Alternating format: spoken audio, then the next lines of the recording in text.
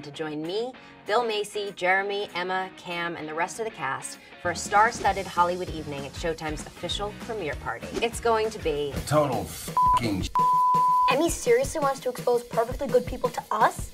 At a party? Wait, wait, who the hell would want to invite us to a party? Yeah, that can't be right. That's right.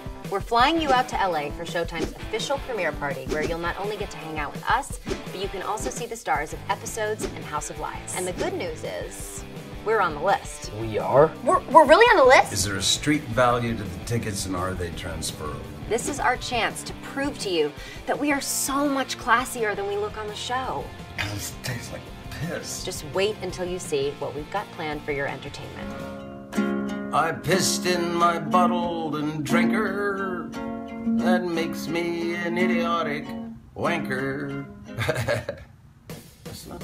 That's. See, it's going to be exactly like one of those ritzy Hollywood evenings that you've seen in all those magazines.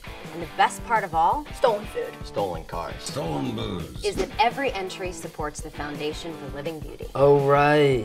Oh, that's what this is for? It's an amazing cause that empowers women to increase their physical wellness and emotional stability while coping with the effects of cancer and chemotherapy. It's actually pretty tough to hate on that. Thank you. So go to omaze.com forward slash shameless to enter. That's O M A Z E slash shameless.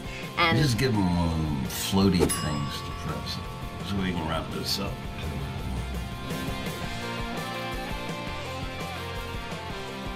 I can't even say the name of my own show.